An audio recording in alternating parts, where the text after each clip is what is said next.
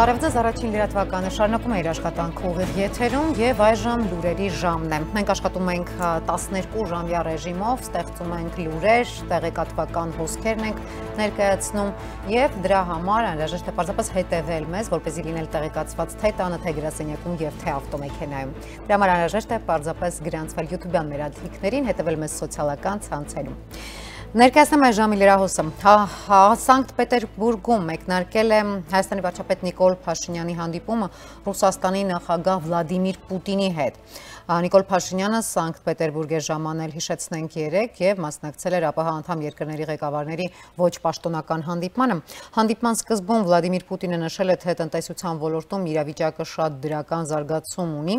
Այս տարվա 10 ամիսներին առևտրաշրջանառությունը ավելացել է 73%-ով։ Ռուսաստանի նախագահը նաև տեղեկացրել է, որ 3 ԱՊՀ երկրների ղեկավարների ոչ պաշտոնական գագաթնաժողովին երրակողմ զրույց է կայացել Հայաստանի, Ռուսաստանի եւ Ադրբեջանի ղեկավարների մասնակցությամբ ուղղությամբ։ Իհարկե գլխավոր հարցը հարավային Կովկասում իրավիճակի կարգավորումն է հայ-ադրբեջանական հարաբերությունները, ամեն ինչ, ինչը կապված է Ղարաբաղի հետ։ Այնպես որ ինչպես պայմանավորվել ենք, բոլոր այս հարցերը մանրամասն կքննարկենք, ասել է Պուտինը։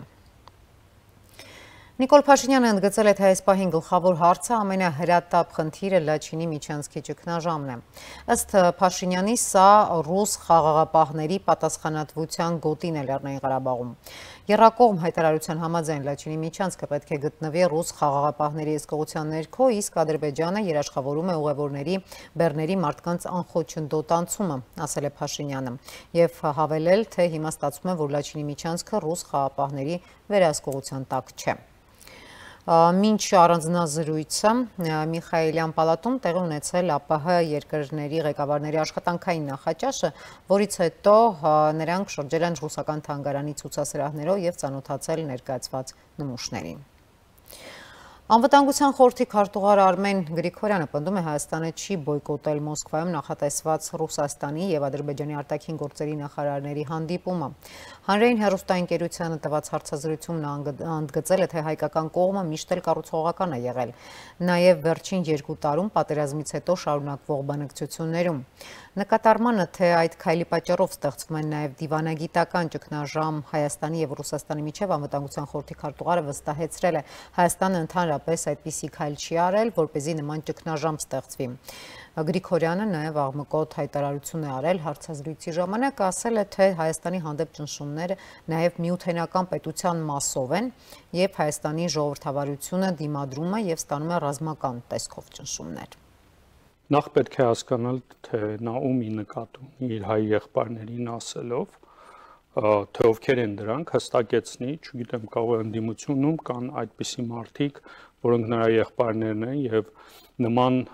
նման ձև են արձագանքել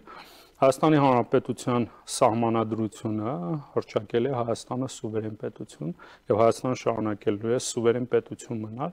եւ մեր ամբողջ առաքելությունը հենց նաեւ դրա մեջ է, որ เป զի պաշտպանենք Հայաստանի սուվերենությունը։ Բայց որտեղ է գրած, որ միութենական պետությունը ոտնահարում է սուվերենությունը։ Միութենական Եվրամիությունը բայց բոլորը սուվերեն են։ Միութենական պետությունը դա ամբողջովին սուվերենության խախտում է,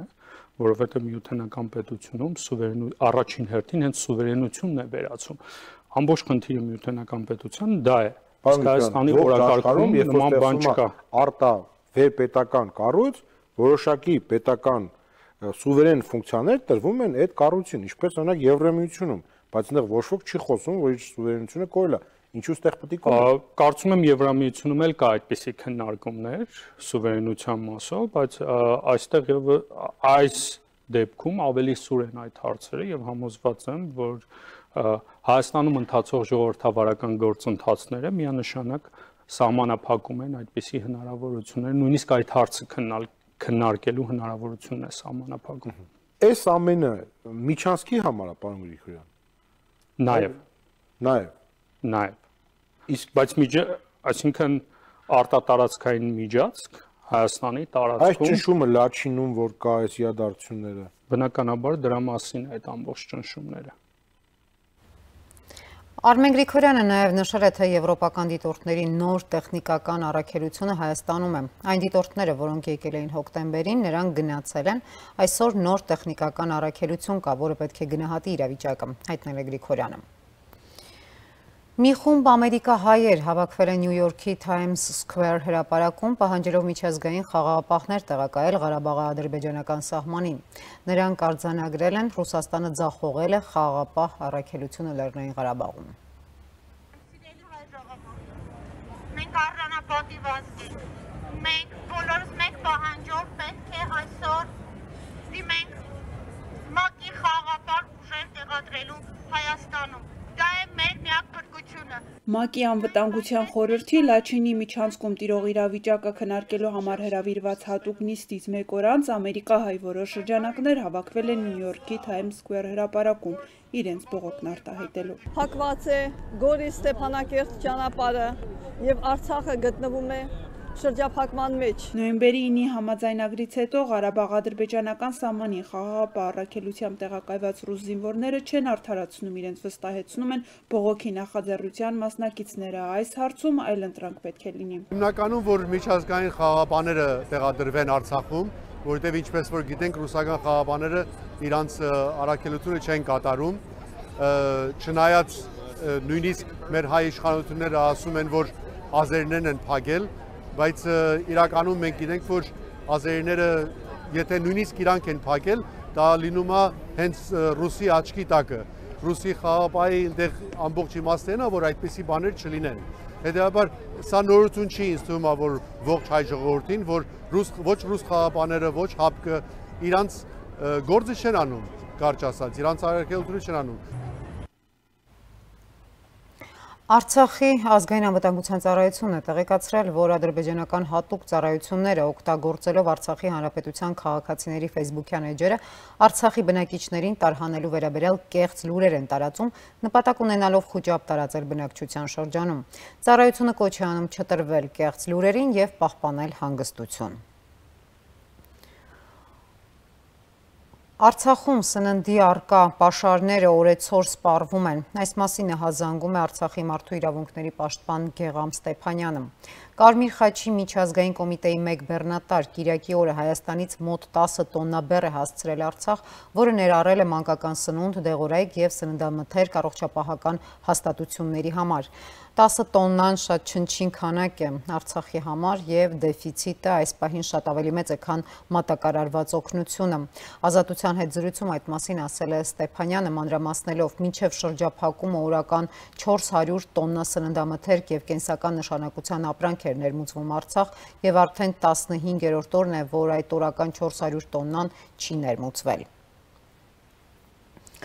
Հայաստանի եւ Արցախի մարդու իրավունքների պաշտպանների հաստատությունները հրապարակել են Լաչինի միջանցքի արգելափակման հումանիտար հետևանքների վերաբերյալ արտահերձ զեկույց նոր թարմացված տվյալներով։ Օմբուդսմենները ամփոփել են ադրբեջանական հանրային խոսույթը եւ վերլուծել են ադրբեջանցի պաշտոնատար անձանց հայտարարությունները, որի արդյունքներով հետևությունն այն է, որ ադրբեջանական քաղաքական ղեկավարությունը կառավարության պաշտոնական եւ մերձ պաշտոնական տեղեկատվական եւ հանրային կարծիքների ձևավորման հիմնական միջոցներով եւ փորձված մեթոդների կիրառմամբ դեռևս նոյեմբեր ամսից պատրաստել եւ ուղղորդել է հանրային կարծիքը Լաչինի հումանիտար միջանցքի արգելափակման համար։ Իսկ Արցախից ակտիվիստ Տիգրան Պետրոսյանը հայտնել է, որ այսօր երթով շարժվելու են դեպի Ստեփանակերտի օթանավակայան, պահանջելու հանդիպում ռուսական խաղաղապահ առաքելության հրամանատար Անդրեյ Վոլկովի հետ։ Նա նշել է, որ ժամը 14:30-ին հավաքվելու են մենք ենք մեր սարերը հուշարձանի մոտ, որտեղից ժամը 15-ին կմեկնարկի Քայլերթը։ Նա նաև նշել է, որ ճանապարհը այդպես էլ չի բացվել եւ երեկվա հանդիպումները որևէ արդյունք չտվեցին։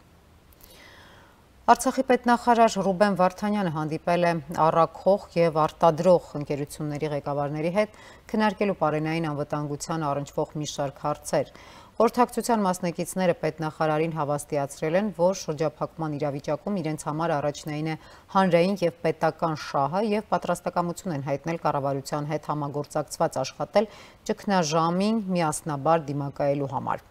Գործարարները առաջարկել են նաև անհրաժեշտության դեպքում դիտարկել իրենց տնօրինության տակ գտնվող ենթակառուցվածքների օգտագործման հնարավորությունը արկա պաշարները պահպանելու եւ համաչափ բաշխելու հարցում։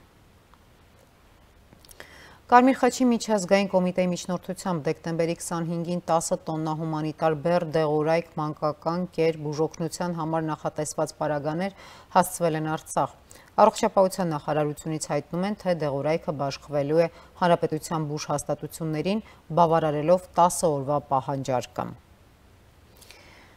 Ֆրանսիայի Հանրապետության ազգային ժողովի պատգամավոր Իզաբել Սանտիագոն Twitter-ի իր միկրոբլոգում հիշեցրել է, որ Լեռնային Ղարաբաղի հայությունը գրեթե երկու շաբաթ է կտրված է աշխարհից Ադրբեջանի պատճառով։ Տարեվերջան տոնակատարությունների այս շրջանում, երբ մենք միավորվում ենք մեր հարազատներին, անհամբերությամբ սպասում ենք նշելու մեր ընտանիքների հետ տոները, հիշենք, որ Լեռնային Ղարաբաղի հայությունը գրեթե երկու շաբաթ է կտրված է աշխարհից Ադրբեջանի պատճառով, գրել է նա։ Նիդերլանդների արտգործնախարար Վոբկե Հուկստրան Հայաստանում Նիդերլանդների դեսպանի զեկույցի հիման վրա նամակ է հղել ներկայացուցիչների պալատ Բաքվի ագրեսիայից տուժած Հայաստանի տարածքների վերաբերյալ։ Նշել, թե Ադրբեջանը զավթել է Հայաստանի ինքնիշխան տարածքից 60 քառակուսի կիլոմետր։ Նախարարը իր նամակում անդրադարձել է Եվրամիության առաքելության հնարավոր ընդլայնման կամ անկախ առաքելություն ստեղծելու հարցին, ընդգծելով, որ Նիդերլանդները դրական դիրքորոշում ունի Հայաստանում առաքելության հետագա տեղակայմանը։ Պաշտպանության նախարար Սուրեն Պապիկյանի հրամանով զինված ուժերի ողջ անձնակազմը ստացել է պարգևավճար մեկ պաշտոնային դրույքաչափի չափով։ Այս մասին հայտնել է Պաշտպանության նախարարության մամուլի քարտուղար Արամ Թորոսյանը։ Բարձրագույն դատական խորհուրդը դադարեցրել է Երևան քաղաքի ընդհանուր իրավասության դատարանի դատավոր Աննա Փիլոսյանի լիազորությունները։ Ռուբեն Մելիքյանի կնոջ կարգապահական պատասխանատվության ենթարկելու միջնորդություն ներկայացրել էր Գրիգոր Մինասյանը։ Դատավորը թվով 4 քաղաքացիական գործերով վճռները հրապարակել ու հայցվորներին է ներկայացրել 1-2 տարի ուշացումով։ Առաջարկում եմ հավանել եւ միանալ հետևորդների մեր բազմահազարանոց բանակին սոցիալական ցանցերում, քանի որ ձեր բաժանորդագրությունը ավելի կօգնի լսելի դարձնել մեր ձայնը, ինչը օպերատիվության եւ հրատապության այս թշնամական նարատիվների դեմ լավագույն միջոցն է։ Մի միջոց, որ ինչպես գիտենք, չափազանց կարևոր է հիբրիդային պատերազմում։ Շարունակում ենք թողարկումը եւ ներկայացնում տարածաշրջանային լուրերը։ Ֆրանսիական Le Figaro պարբերականի փոխտնօրեն Ժան-Քրիստոֆ Բուիսոնը Twitter-ի իր միկրոբլոգում արված գրառմամբ տեղեկացրել է, որ Լաչինի միջանցքում ադրբեջանցիների շրջափակմանը միանալու ցանկություն են հայտնել պակիստանցի ուսանողներ։ Արցախում հայերի համար վատ լուրեր են կուտակվում 3 դեկտեմբերի 26-ին ռուսները ոչ միայն չեն ազատել Լաչինի միջանցքը, այլև պակիստանցի խորհրդավոր ուսանողներ հայտարարել են, որ ցանկանում են միանալ ադրբեջանցի ակտիվիստներին ուժեղացնելու շրջափակումը, գրել է Բուիսոնը։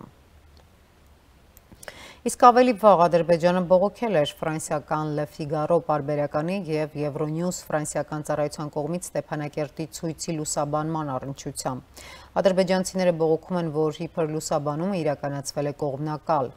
Բաքվին հատկապես դուրս չի եկել Le Figaro-ի ֆրանսիացի ականավոր շուրջ 200 մտավորականների եւ հայտնի գործիչների Լաչինի միջանցքը բացելու կոչով հոդվածը։ Թուրքիան 2023 թվականին անհրաժեշտ քայլեր կձեռնարկի Սիրիայի հետ սահմանին 30 կիլոմետրանոց անվտանգության գոտի ստեղծելու համար, այս մասին հայտարարել է Թուրքիայի նախագահ Թայիպ Էրդողանը։ Վրաստանի նախագահ Սալոմե Զուրաբիշվիլին արարողակարգի կոպիտ խախտման պատճառով չի մասնակցել արտերկրում Վրաստանի դեսպանների մասնակցությամբ խորհրդաժողովին։ Դեսպանների համաժողովի բացման միջոցառման ժամանակ կազմակերպիչը Վրաստանի նախագահի համար նրա կարգավիճակին համապատասխան տեղ չի որոշել։ Նշված է Վրաստանի նախագահականի տարածած տեքստում։ Այսքանն էինք առանձնացրել այս ժամի համար, չմոռանաք հետևել մեզ սոցիալական ցանցերում, հետևել մեզ YouTube-յան ալիքներում, բաժանորդագրվել, տարածել եւ հետևել թե մեր լուրերին, թե մեր հարցազրույցներին, ինչպես նաեւ ուղիղ միացումներին արտերկրի փորձագետների հետ։ Միասին պայքարենք թշնամական կեղծ նարատիվների դեմ։